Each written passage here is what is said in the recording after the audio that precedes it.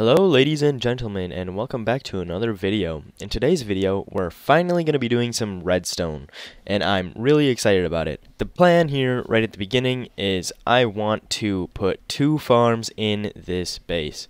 The two farms I want to put are a pumpkin farm under the ground here and a melon farm under the ground here and I made them both right before I stopped playing on the other part of the world and moved to this part of the world, and it's going to be the same exact farms.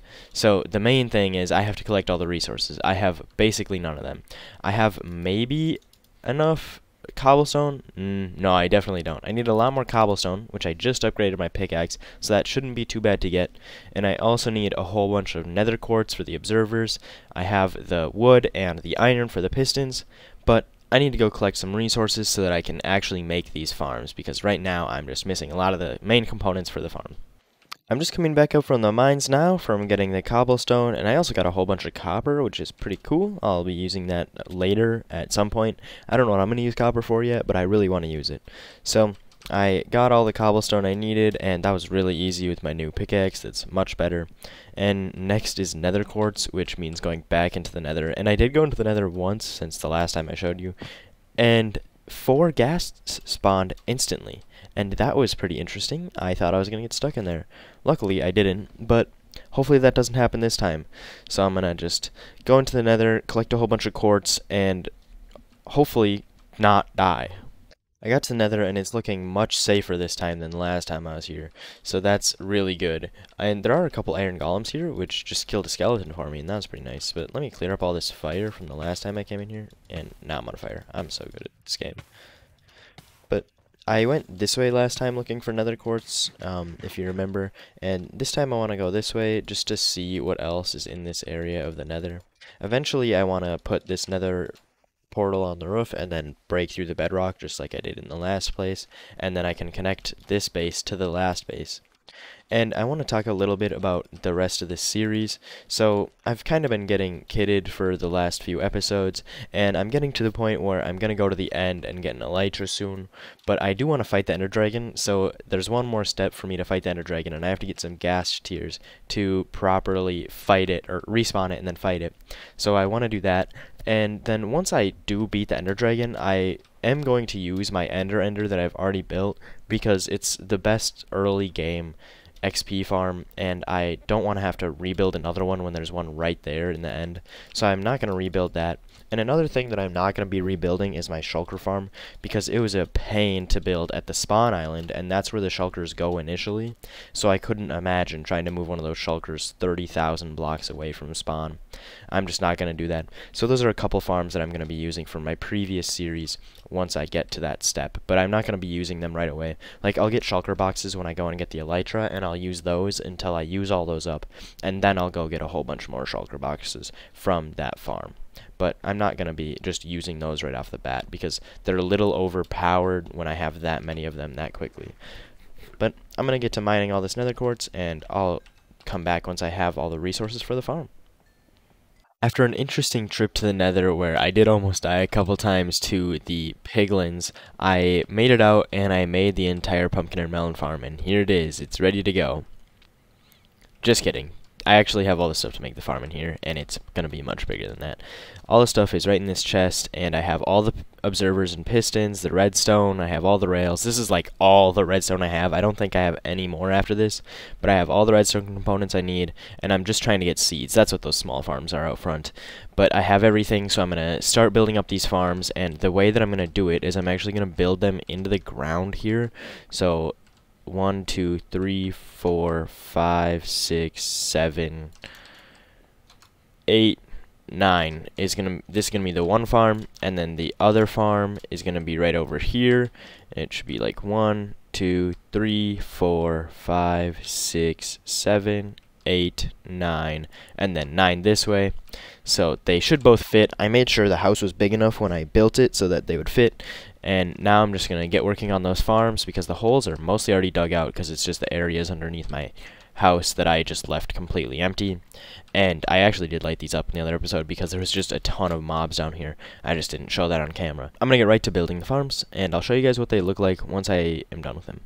I completed both the farms and they are both working now. I bone mealed all the crops so they're actually growing and I think that they look pretty awesome down here with the glass. Hopefully, I cannot wait for Optifine to come out for 120. This is so annoying because even in the nether there's all the fog and stuff and I just it I cannot really play like that anymore. But I got them done. I think they look pretty good even with the glass like this, but they should look even better once the glass is fixed. I just use spruce down there just to give it kind of like a abyss feeling where it gets darker, and then the whole farm, and then the redstone lights up when one of the plants grows, which is pretty cool. And I have a little collection area right down here.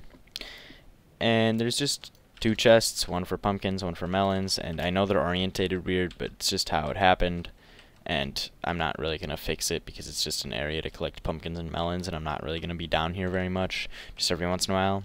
The next thing that I want to do in this episode is get on the nether roof and break through the bedrock so that I can have access to the nether roof to build things up there and also have access to the regular nether to collect blocks or to find another fortress. I still haven't done that. So I need to be able to get down there but I also want to have my portal on the roof so that I can eventually make my way back to my other base, and it's just much better for making a portal network around here if I'm on the nether roof. So the way to get on the nether roof and break bedrock is actually pretty simple. None of it's too complicated. To get on the nether roof, you just find a bedrock at Y level 127, and look at this. I need to get rid of this guy real quick. There we go. And I got a ghast here, which is huge for me fighting the dragon, because I do want to fight the dragon just like a regular world, but I have to respawn it. And I just realized I forgot one small thing, which is a flint and steel, so I'm going to go get that really quick. Okay, I got my flint and steel, and I'm back in the nether, and I would recommend always bringing a flint and steel when you go into the nether, because you never know when uh, ghast is going to blow up your portal, but it's especially important when you're going to the nether roof, because you have to make a portal up there once you get up there, and the best way to get up to the roof is just to mine up there. And I want to find a piece of bedrock at Y level 127, which is the highest they can spawn, so that means that it's just one block thick there. And that's really important because having it more than one block thick makes it impossible to get up there through an ender pearl. But if it's just one block th thick, you don't have to worry about uh, getting stuck in the bedrock and dying and I can just worry about getting up there. And all these are at 126. I'm getting pretty unlucky right now. Uh, I'm going to find one at 127, and I'll come back to you once I do. I found a piece of bedrock at Y level 127, and now the next step is to build a ladder up to it. So the ladder is important because it puts you as high as possible next to that block, because if you're just standing there, you're actually a little bit shorter than two blocks, so you could end up messing it up, but the ladder allows you to get as close as possible, and then I'm going to just make sure I have everything really quick because I don't want to go up there without the stuff I need. I have 10 obsidian and a flint and steel. That's the most important thing because that means I can get out. Uh, so you go up to here and you just throw that ender pearl and now you're on the roof of the nether. And now I want to mark this block because this is going to be the block I'm breaking to get back down and I don't want to lose that block. The next step is actually to break the bedrock. And to do that, there's a simple mechanism that just uses two TNT, an obsidian, a trapdoor, and a lever, and a piston, or two pistons, I guess, because one faces upward and one faces downward. You place the second one really quickly.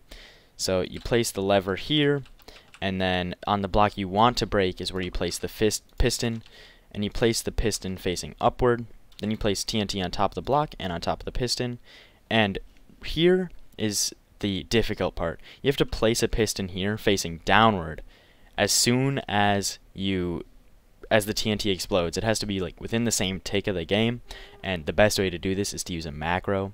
So I have a macro set up already and just to make sure that it's working I'm gonna use this and it just clicks the right click really quickly which will place blocks or flip a lever whichever and I'm going to attempt it here. Hopefully I don't die. The last time I did this, I did die on the first try because I was using netherrack here, and you want to use a very blast-resistant block so that it doesn't kill you, because there's two TNT here, which is plenty to kill you.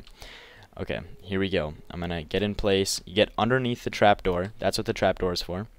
And then you flip this lever, and then you start spam clicking on this corner right here. And that is not good. Uh-oh. this is going to be fun. I got to get back up there. Not sure what exactly happened. That is the correct way to do it. Don't know what happened. I don't have another ender pearl to get back up there. I gotta figure this out. I was looking through my chests just to get kitted a little bit, and I got some iron armor, but I did find another ender pearl. I didn't even realize I had it, but... Oh god, that was so bad. Uh, I really hope my stuff didn't blow up. Oh no, this is, might be really bad. Uh, I guess we'll just get back up there and see what happened. I don't know how I died. I thought I was in the right spot and everything. Um, yeah, this this is not looking good right now, guys. The moment of truth. Here we go. Oh, my stuff didn't blow up at least. Okay, that's that's a good thing. That is very good because then I'd just be trapped up here with nothing. Um, okay. What can I do here now? I got my armor back. I got my stuff back. I guess I can try it again. I think it's this block. I really hope it's this block. Uh, I really have no clue what happened there. So, I did bring enough stuff for a few attempts at least, which is good.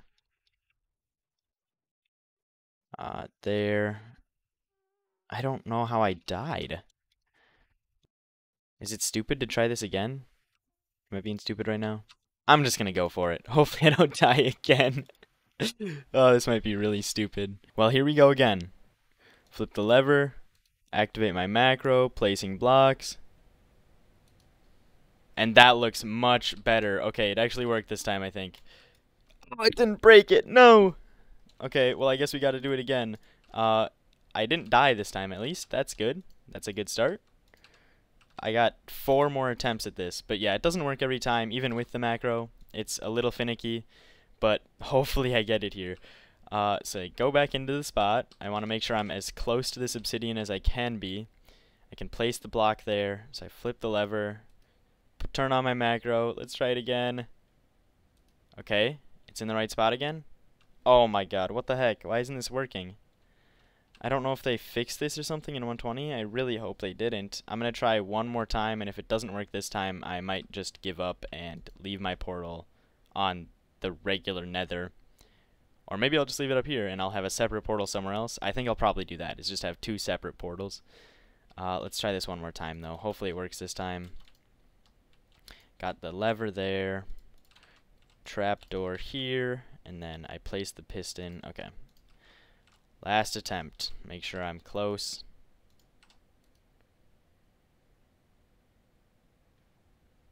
Ooh, that one almost killed me. That could have been bad. Oh, this is actually looking more promising because the piston's facing upward, which I know makes no sense. But, yes! Oh, no, I broke the wrong side. Oh my gosh, this is... I'm so good at this game. Well, I do have to get more pistons, and I do have to get back up here. Okay, what I'll do is I'll make a portal here. Um, I know that this way isn't the correct way now, so I can make the portal going this way and then I will go and get more pistons and come back and try this again. This is not going well. Okay, I'm back on the nether roof, and I relinked my portal so that I don't have to worry about going through the portal on the ground and then coming up through the bedrock, and now this one's just connected straight to my house, which is great for trying to get up here. And I have a picture on my phone of which block I need to break. I have the coordinates. So let's find it. Uh, it is 3751 negative 205. This one right here. Okay. So let's mark that. 3751, negative 205. Okay. And let's break this portal for now. Because it's in the way. I just need the one block there. Oh my god, I cannot believe that I broke the wrong block. This is... I have two chances at this only, so hopefully I get it. Uh, I don't know how much of this I actually need to break. We'll just go with like that. That should be plenty. So this is the one I want to break. And I'm used to doing it this way. So I'm going to do it this way again. Uh, I need block. TNT, TNT, trapdoor, and a lever. Okay. Okay, I'm underneath it. and I only have two attempts at this, so I'm just gonna do these really quick. And if I don't get it, I'll let you know. If I do get it, I'll let you know. Either way, I think I got it, and here's the moment of truth. Let's go. Okay, I made it through. That's awesome. That's really huge. So, first try, got that done. Now let's rebuild this portal in the correct location, because I also have the correct location of where this portal is actually supposed to be to link with the one at my house. So let's redo that. I cannot believe that I missed. Oh my god. Sometimes I'm just so good at this game, and other times I do stuff like that. My portal is now in the right place, which is just a few blocks away from this drop-down area. Now let's see if the portal links properly. I went through the other way and I got back to here, so let's go back through and see. Okay, good. It does work. I'm really happy with the progress I made in this episode. I got a couple farms built, and I'm also on the nether roof now. So I would like to thank y'all for watching. I hope you enjoyed, and if you did, remember to like and subscribe to see more content like this in the future. Thank you again for watching, and I will see you next time.